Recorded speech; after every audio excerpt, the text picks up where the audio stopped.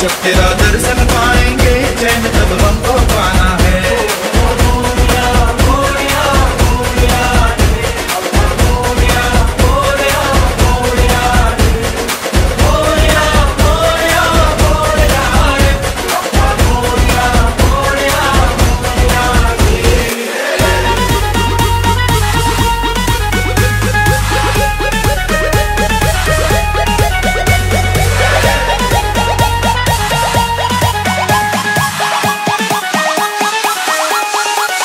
Let's go!